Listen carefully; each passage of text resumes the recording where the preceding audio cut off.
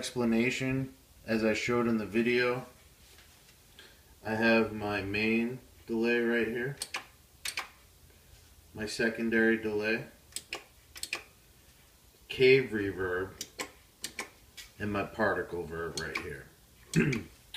I have the particle set up to be at 80% normally, and when I engage expression pedal 1, all the way in the back position, it's at 80%, the dwell we're talking about here. and when I set the expression pedal all the way forward, the dwell goes to 100%.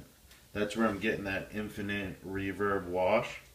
Then I'm turning off the particle verb and it's continuing to wash in that 100% and I'm playing over it and whatnot. And when I want to kill it, I just cock the pedal back and it slowly fades away. Very beautiful. I tried this on the M9 a few years back with a Line 6 expression pedal and it was functional but for some reason and I don't remember why I didn't like it as much as I'm really digging how it works on the HD 500. I haven't really seen anybody show this or do this before with this unit so I figured I'd make this video. If it's already been covered before somewhere, well sorry. I'm using the Bassman. Bright Bassman Set up just like this if anybody gives a rip. And let's go ahead and show you what the dwell looks like. Here we are. I'm going I'm going particle verb into cave verb. It's just beautiful to do. And my settings for the particle look like this.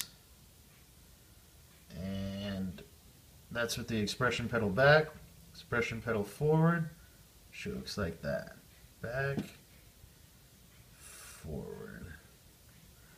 And just for schniggles I'll go ahead and show you my settings for cave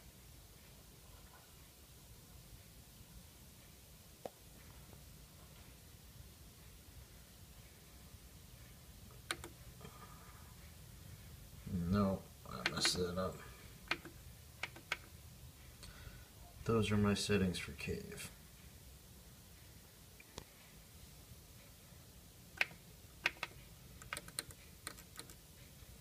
Digital delay with modulation into analog delay.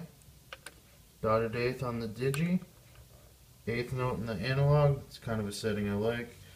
Compressor on all the time red compressor, sustain at about 34%, level at around 60 or 70. Holla at your boy.